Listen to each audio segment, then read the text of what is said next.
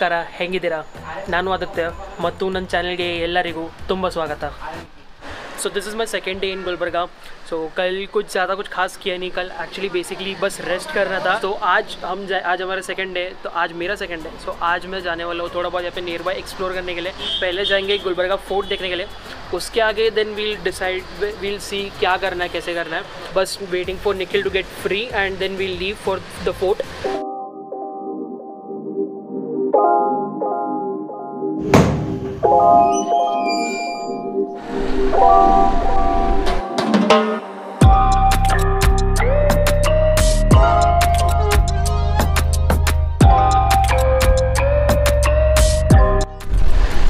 so अभी we are going to Gulbarga fort now and यहाँ से कितना दूर है Nikhil Gulbarga fort five to six kilometers जो कि पंद्रह मिनट में पहुँच जाएँगे हम लोग.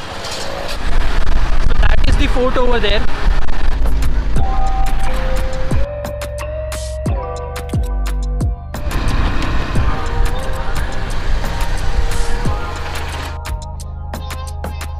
we have finally reached the fort. Also, th- just one thing about Gulbarga: if you are coming here, riding a motorcycle or sitting uh, behind as a pillion, just एक चीज़ का ध्यान रखो कि यहाँ पे इस सिटी में थोड़ा डस्ट ज़्यादा है so properly cover your face using a mask I just love the stairs यार ये बहुत बहुत ही पता है एक अलग ही फीलिंग दे देता है कि यू नो एक फोर्ट ऐसे कोई लोकेशन पे आए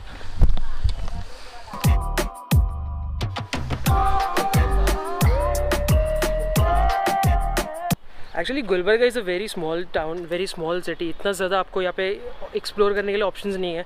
This is one of them so our bike is park over there यार इतना ऊपर चढ़ लिया यार पता नहीं चला। फिर चढ़ते चढ़ते पता नहीं चला इतना ऊपर पहुँच गए हम लोग। तो निखिल ये कौन से जगह पे आता है ये?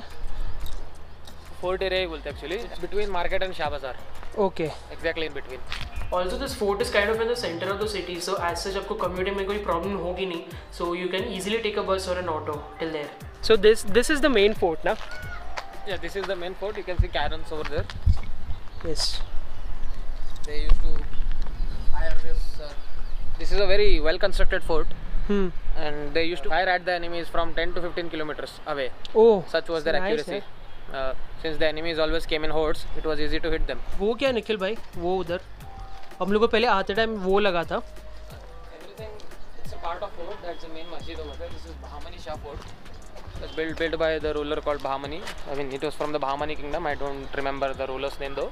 you know gulbarga being my native place i have been here so many times and in all these years this is my first time that i came to know that gulbarga also has a fort which obviously had to यार पता होना चाहिए। But no problem thanks to the thing that I do which is vlogging जिसके through मुझे मैंने काफ़ी सारे और जगह से एक्सप्लोर किया। मतलब जगह से जगह नोट डाउन किए जहाँ पे मैं गुलबर्गा में जा सकता हूँ। सो so, यहाँ पे एक मस्जिद बनाया गया। आई I मीन mean, ये आई एम श्योर ये उस टाइम पे ही बनाया गया होगा जिस टाइम पे ये फोर्ट बना था। यार जस्ट सोचना है मतलब इधर से क्या व्यू मिलता होगा। आई एम श्योर ये सब तो था ही नहीं पहले। तो ये सब अभी बनाया गया है। But like just think of it ना यहाँ पे बाउंड्री वगैरह सब सेट किया हुआ है यहाँ पे यहाँ पे पीछे पीछे सब 360 डिग्री बाउंड्री सेट किया हुआ है। तो सोचना है जो रूलर्स वगैरह रहते रहेंगे मतलब पूरा एनिमी मूवमेंट सब पूरा मॉक कर सकते होंगे वो लोग। पूरा वॉच कर सकते होंगे कौन कहाँ से आ रहा है। There are cannons in multiple directions. वो भी दिखा ना तीन cannons है total. एम सो सॉरी मैंने सिर्फ़ एक कैनन अब तक दिखा है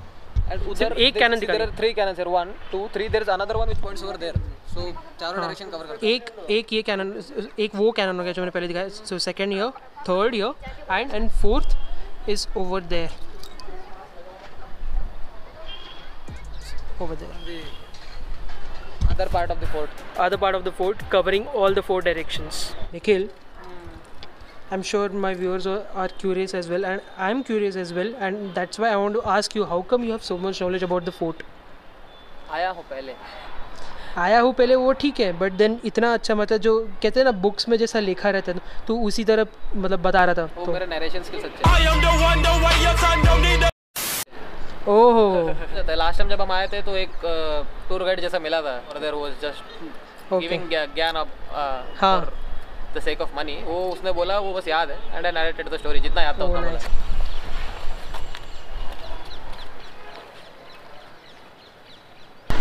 So we are done with the fort now अभी यहाँ का जो मस्जिद जो मैंने ऊपर से दिखाया ना, अभी उसके पास से जा रहे हैं। सो दिस इज़ दी मस्जिद जो उस टाइम पे बनाया होगा एंड हम वहाँ थे, वहाँ से हमें ये मस्जिद दिखाई दे रहा था। ऑल्सो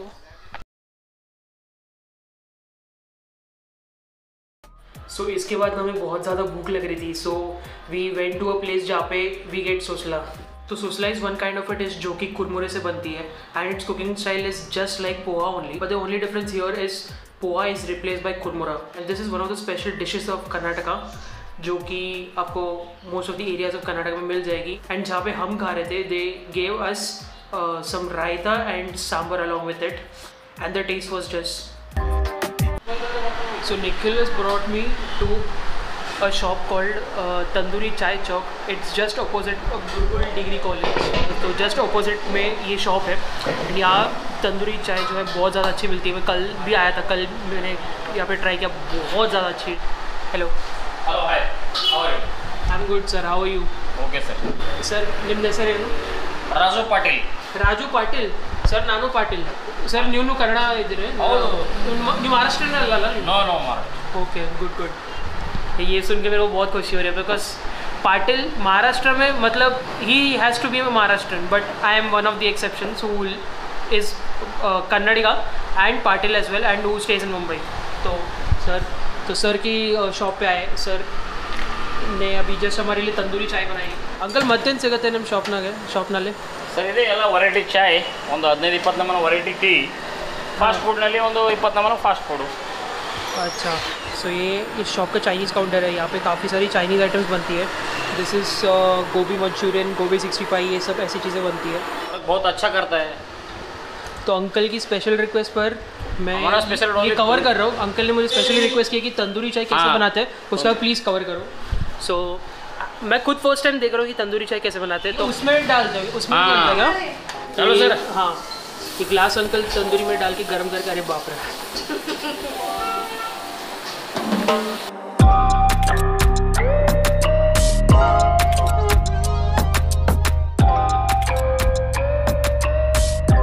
चलो- चलो uncle thank you so much thank you और यहाँ पे आ रहे होंगे तो अंकल के हाथ की बनी कोई ना कोई चाइनीज़ आइटम भी ज़रूर ट्राई करना और specially that gobi manchurian. Uncle बहुत ही ज़्यादा स्वीट है।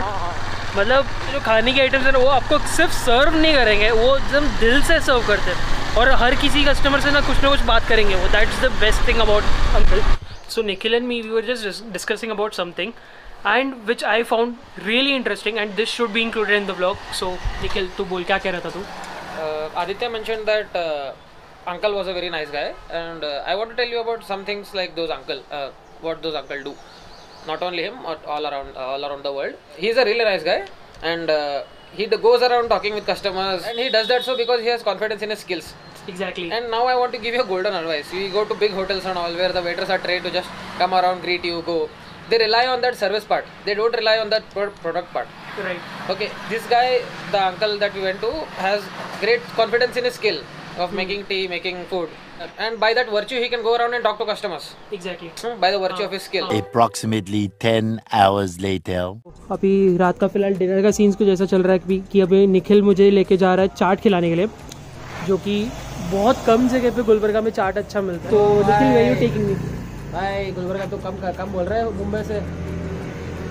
देख चाट तो थोड़ा तो है बट बहुत कम जगह पे एकदम मुंबई जैसी वाली चाट मिलती है। कम जगह पे मुंबई से अच्छे मिलते हैं चाट और okay chaat style is different okay Nikhil वही यू टेकिंग मी टुडे जिधर ओपन है उधर।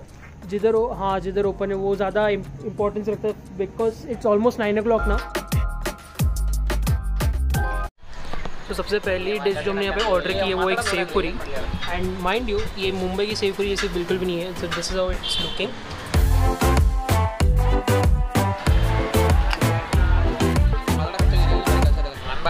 really good. Trust me guys, it's really good. What are we ordering next? The second dish for now, this is ragda puri or ragda.